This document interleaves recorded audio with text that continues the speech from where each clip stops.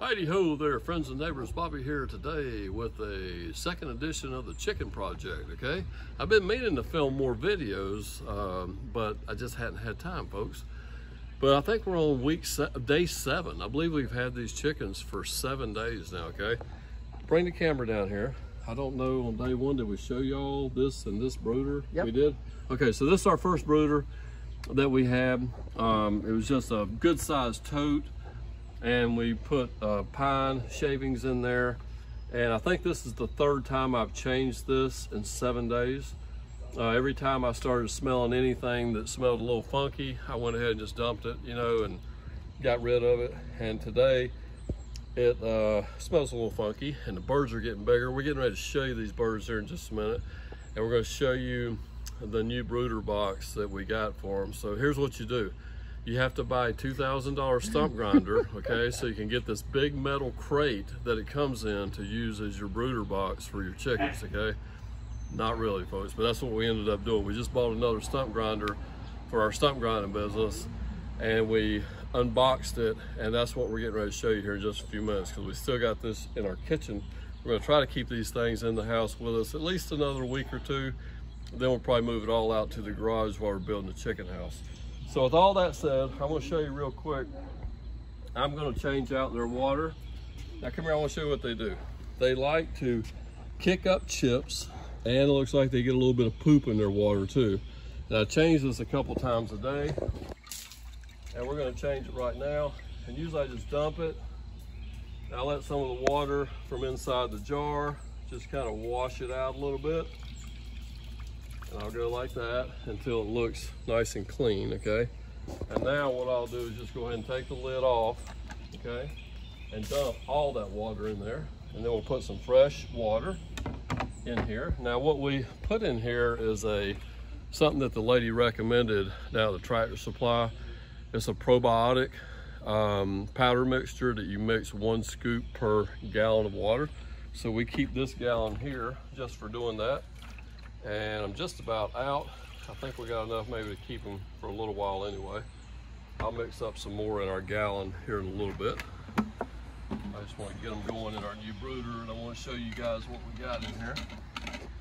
So here is our water ready to go. I'm gonna set it right here for a minute and pause the video. We gotta go get the food. I'll show you how I fill up the food. Okay guys, here right quick, this is what we keep our food in and it's a five gallon bucket with one of these cool lids on here that screws on. I actually use this for some of my food storage, but not this particular one. Um, so here's our food. We keep a little scoop in here. Here's our feeder that we have. We're gonna go ahead and uh, just take the jar off of there. And sometimes they get uh, little chips and they might poop in there or whatever. So I just go ahead and dump it each time. I dump it right out here. And so the birds that are out here, they can enjoy some of it. Now we will go ahead and fill this on up. I'll probably just fill it up about halfway or three quarters of the way. So there we go. And we'll screw this oh, little lid back on here. And and we'll go inside and we'll put these down in our new brooder and we'll check it out let you guys see the chickens stay tuned okay guys we're inside now. We got the new brooder. Bring the camera down here. What does that say right there? Stump grinder baby. So this is uh, the crate that our uh, our second new power king stump grinder come in. And so we decided to use this as our brooder and this should get us on until we're ready to move them into the chicken house. So take a look at our little guys. They are definitely growing every day. Check out the feathers. Uh, if you've seen the first video, it was like on day one. They didn't have hardly any feathers. They're flying around now. And they could probably fly up here as high as the top of this one. They were definitely flying on the other one every time we took the string wire off of there. And uh, let's see, if, let's see if this is a couple of them are real gentle and they'll just crawl right up in my hand. Well, look there. That one there just crawled in my hand. Look there. Yes, she did. Come here, buddy. Or girl. and let's see here. Now, we've named all these folks. I'm going to go ahead and let you in on the names, okay? This right here is our rooster, okay? Or we think it's a rooster. and we're naming him Dale. Okay. Why are And- we naming him Dale? Because if he turns out to be a girl, Dale is still a girl's name. But where did you come up with Dale? Because I'm a big Dale Earnhardt fan. There I was a big go. Earnhardt fan back in the day. And our white chickens here are the uh, Leghorns, some people pronounce it, or Leghorn, kind of like Foghorn Leghorn. Now the biggest one, I can't tell, I think it's this one. And this is Rowdy Rhonda, because she has actually been a little handful ever since we got her. and I'm almost thinking she might be a boy. I don't know. We'll have to wait and find out. This is Rowdy this, Ronda Rousey. Yep, Rowdy Rhonda. From. WWE. And one of these white ones is Loretta, and one of them is uh, Patty. And we're not 100% sure which is which yet. We gotta wait till we kind of uh, can tell more about them. Well, th yeah, this one's got the more of a comb, and we were gonna name her Patty for Patty Loveless. Okay.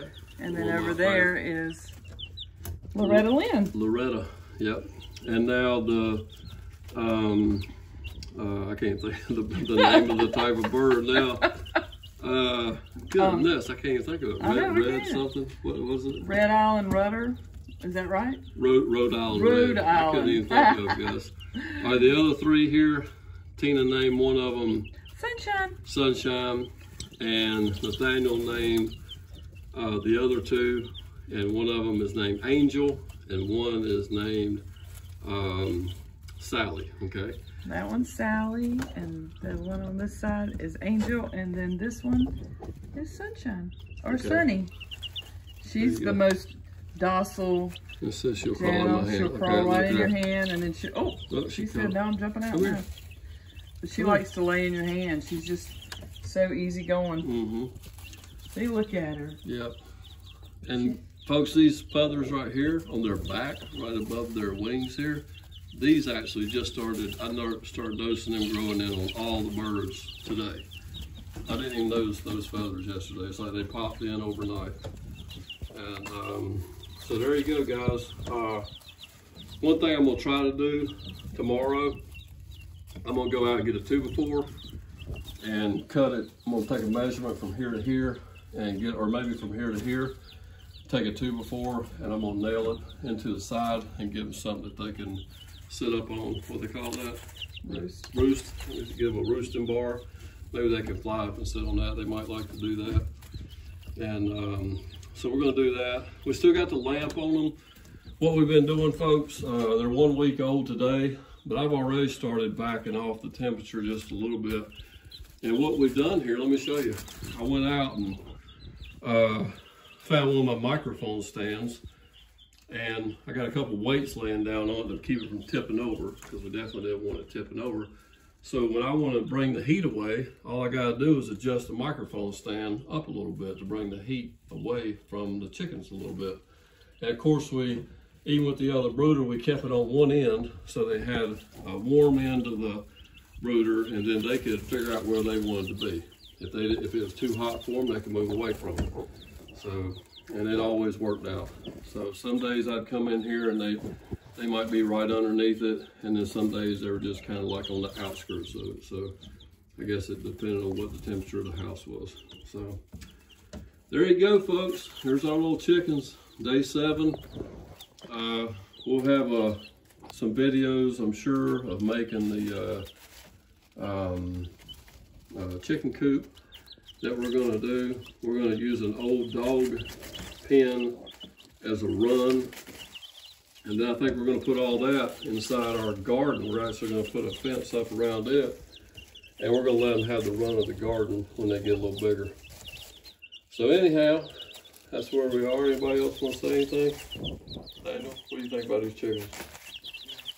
Yep. Yeah. That's all he has to say right now. Yeah, if you want to, it's trying to, trying to get out Yeah, yeah, they're trying to get out. of the old cage. Yeah. Now, folks, I didn't show you, but that old, uh, what I'm going to do with that uh, bedding that's in the, oh, bring the camera back up.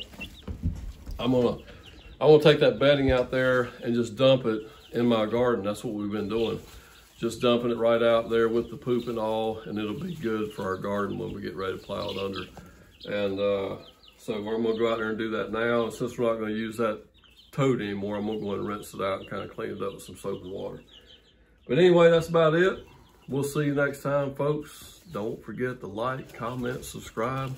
Check out all the cool stuff down in the, the description. I will have some links to some products that you may want to purchase if you decide to uh, raise some chickens yourself. Have a wonderful day. Take care.